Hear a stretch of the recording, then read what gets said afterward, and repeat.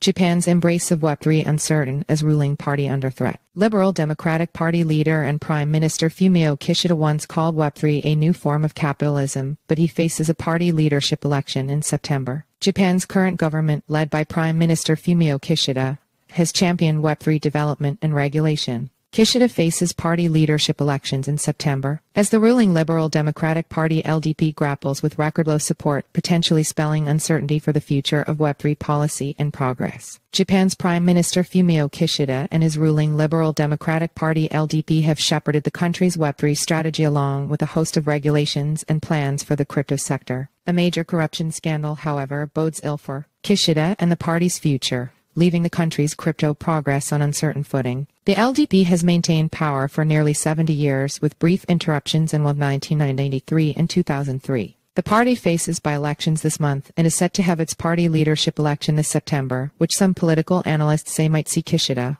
who called Web3 a new form of capitalism, replaced as president of the party and consequently as prime minister of Japan. In 2023, Japan became one of the major jurisdictions to regulate stablecoins, which are crypto assets tied to the value of other currencies. When much of the world collectively detached itself from the scandal-ridden cryptoverse amid the market collapse of 2022, Kishida's government saw it as an opportunity and a pillar for economic growth. Kishida's cabinet has a Web3 project team, which last year released a white paper outlining the National Non-Fungible Token NFT and Decentralized Autonomous Organization DAO strategy, which is now working to introduce new Web3 policies. The LDP is also proposing corporate tax cuts and making way for venture capital firms to hold crypto. It's unclear how these efforts may be affected by the party's shaky future. The LDP's Web3 white paper has manifested in more than 160 active Web3 projects across the country, many of them focused on revitalizing Japan's vanishing traditions and rural villages. Kishida has vowed to take disciplinary action against party members involved in the scandal, which saw three lawmakers and a handful of political aides arrested on